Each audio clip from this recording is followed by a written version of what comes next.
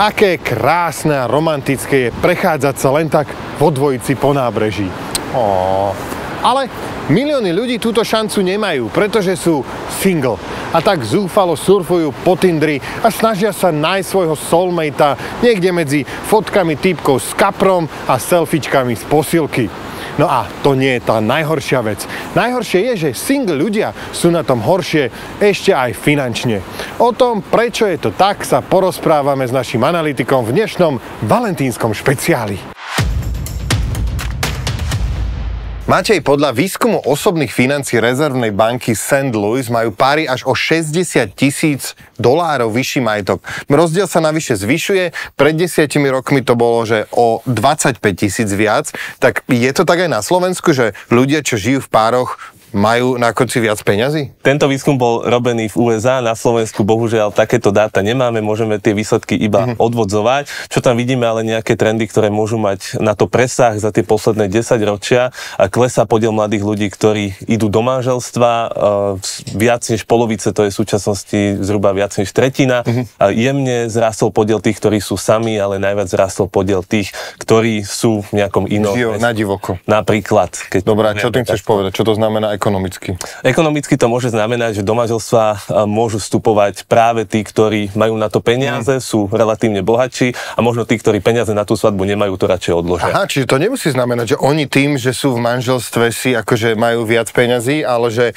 že práve preto, že mali viac peňazí, si môžu dovoliť svadbu aj z do manželstva. Nejakú časť to môže vysvetľovať, hej. Aha, to nie je zlý insight. Dobre, ale keby sme sa pozreli teda na tú druhú časť, že naozaj by sme predpokladali, že to, že ste v páre, môže spôsobovať, že máte väčší majetok, tak e, tu sa mi tlačí druhá otázka, ktorú už za mňa kedysi vyslovil Igor Týmko. Čím to je? Čím to je? Podľa tohto výskumu e, bohatstvo tých ľudí, ktorí sú v manželstve, to čisté bohatstvo je asi trikrát vyššie ako tých ostatných wow, ľudí. trikrát toľko? Wow. Trikrát toľko. Je to vyššie, aj keď to predelíme na, na počet osôb.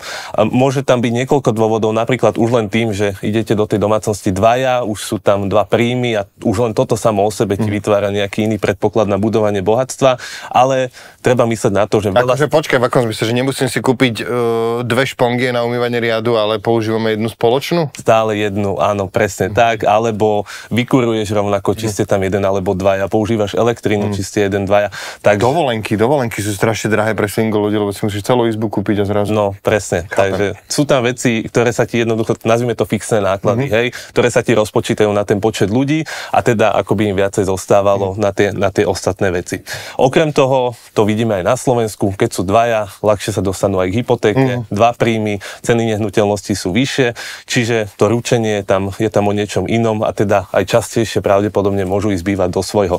Keďže ten koncept čistého bohatstva je postavený na tom, že sa zoberie akoby hodnota majetku minus tie dlhy, ktoré majú a, a my si zoberieme zase, že ceny nehnuteľností, ktoré častejšie asi vlastnia práve ľudia, ktorí sú v nejakom vzťahu, a, rapidne rastli za posledné mm. roky a odpočítame z toho ten dlh, ktorý za to na začiatku dali, tak sú pravdepodobne. A čiže vlastne že pravdepodobne to najviac nehnuteľnosti potiahli. Môže byť, áno. Mm sú v tomto nejaké rozdiely medzi ľuďmi, ktorí sú vzdelanejší a menej vzdelaní?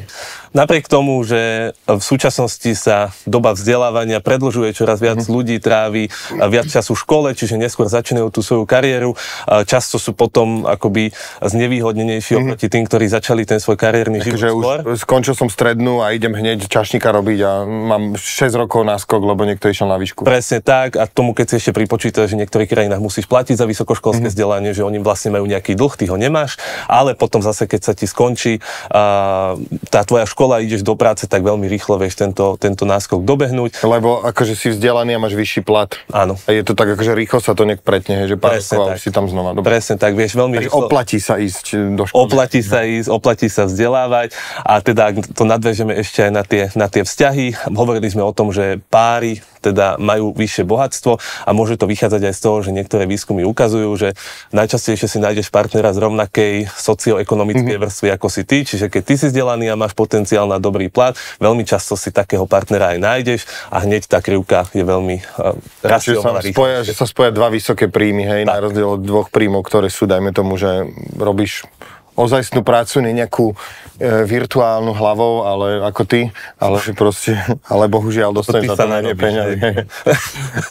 Môžem túto single nevýhodu nejako vymazať, že som single a napriek tomu chcem finančne rásť? Môže si nájsť frajerku, mm-hmm. to je... Vieš, to je strašne kontraintuitívne, lebo väčšinou, keď si nájdeš frajerku, som vždy míňal, že viac peňazí, ale teda akože v dlhodobom, v dlhodobom časovom horizonte je to teda Ber to ako investíciu. Ber to ako investíciu. Presne tak.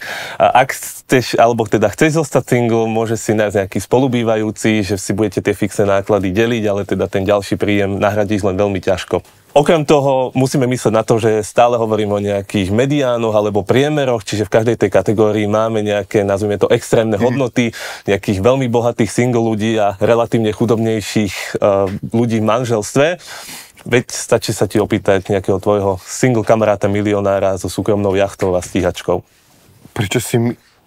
Kde by som ja nabral takých kamarátov? Ani v páre to nie je oveľa jednoduchšie. Ako si rozdeliť náklady na bývanie a stravu? Brať si hypotéku spolu alebo zvlášť? No a má na rande platiť muž ako pán tvorstva alebo emancipovaná žena? No a mám povedať manželke, že som si objednal čapicu v tvare pečeného kuraťa? To sú otázky, o ktorých sa budeme baviť s párovou terapeutkou Lenkou Rušárovou. Dobrý deň, pani Rušarová. Dobrý deň. E, vy už roky robíte párovú terapiu. Sú peniaze vo vzťahoch častým problémom, alebo je to že taká že okrajová záležitosť? Sú častou témou, nie vždy problémom. A niekedy je to také zaujímavé, lebo je to len zástupný problém, že treba sa hádajú o peniazoch, ale v skutočnosti tam ide o to, že máš ma dosť rád, alebo mám tu dosť slovo v tejto rodine. A niekedy je to presne naopak, že by sa o tých peniazoch mali rozprávať, ale peniaze sú tabu, nehovoria o nich vôbec lebo je to napríklad spojené s nejakou hambou, niekto, kto prichádza zo skromnejších pomerov, tak sa hambí o peniazoch hovoriť, ale ho to trápi a ovplyvňuje to ten vzťah, nie je v ňom úplne taký uvoľnený. Dobre, čo je tá správna verzia? Čo, ako by to malo byť? No správna verzia je rozprávať sa spolu úprimne o dôležitých veciach.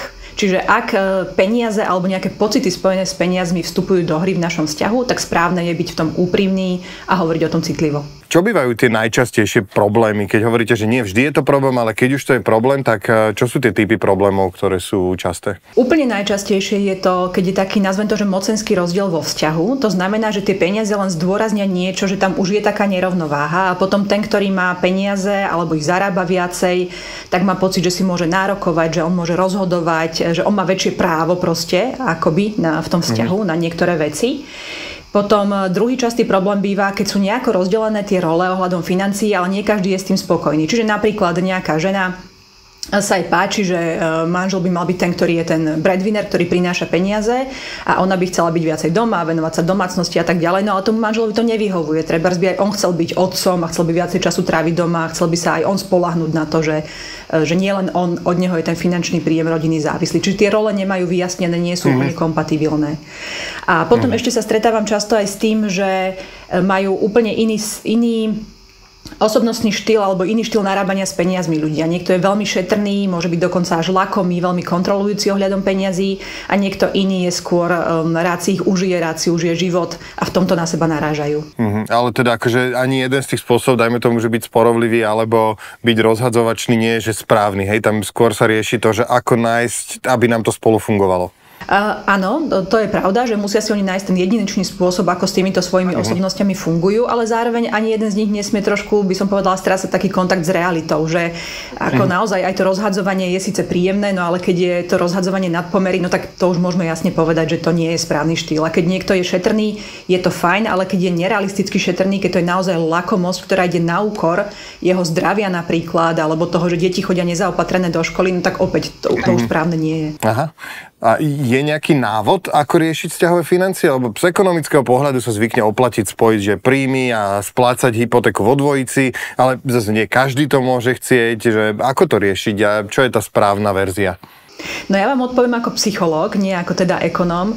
Správna verzia pre mňa, keď sem chodia páry, je, keď e, tie peniaze riešia s úprimnosťou. To znamená, že úprimne otvorene poviem, čo potrebujem, čo mi vadí, čo mi nesedí.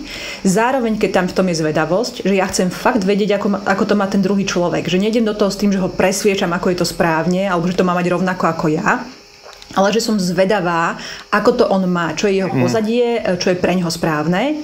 A potom taká tretia vec, že keď do toho vnášajú kreativitu, to znamená, že sú schopní nájsť nejaké riešenia e, šité na mieru, že ako to my dvaja budeme mať. Niečo, čo som čítal v nejakom magazíne, alebo čo nám hovorí finančný poradca, ale čo sedí konkrétne nám dvom. Wow, uh, to je veľmi zaujímavá myšlenka, pekná. Myslím si, že z tohto by sa veľa ľudí mohlo poučiť. A mali by ľudia vo vzťahu vedieť všetko o svojich financiách, alebo by tam mali byť nejaké tajomstva? Ja si myslím, uh, že je fajn, keď existuje nejaká nezávislosť a súkromie, aj čo sa týka financií. To znamená, uh, že je to zdravé, keď ľudia majú nejakú slobodu a môžu niečo utratiť aj bez toho, aby si museli pýtať peniaze alebo pýtať dovolenie, mm-hmm. alebo môžu dokonca spraviť nejaké prekvapenie, alebo môžu mať svoj súkromný život. Ale pre mňa súkromie e, je niečo iné ako tajomstvo. Tajomstvo už znamená, že niečo utajujem. To znamená, že robím treba s tými peniazmi niečo, o čom viem, alebo tuším, že by to tomu druhému vadilo. Čiže v momente, keď e, sa nesprávam s ohľadom e, na toho druhého a naozaj to je tajomstvo, napríklad po tajomky dávam synovi peniaze, aj keď sme sa dohodli, že mu budeme dávať len toľko a toľko, aby sa osamostatnil, alebo po tajomky kupujem darčeky Milenke, tak to je presne ten typ tajomstva, ktorý e, nie je úplne finančne zodpovedný a vzťahovo korektný. A máte nejakú dobrú radu na záver? No tie psychologické rady s nimi je to vždy také ťažké. Uh, moja rada je, buďte odvážni hovoriť o peniazoch, a buď, buďte dosť citliví na to, aby z toho nebola výbušná téma. Wow, veľmi pekne ďakujem uh, Lenka Rušarová, uh, aj párová psychologička. Ďakujem pekne. Nie zač, rado sa stalo. Tak si to zhrňuje.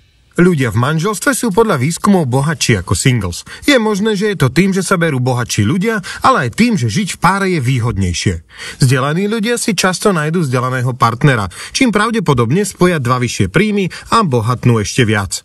Všetko je však zároveň veľmi, veľmi individuálne. Keď už ste vo vzťahu, určite hovorte aj o peniazoch. Bavte sa o tom, aká je koho úloha, pýtajte sa, na čom tomu druhému záleží, majte súkromie aj vo financiách, no najmä komunikujte odvážne, úprimne a citlivo.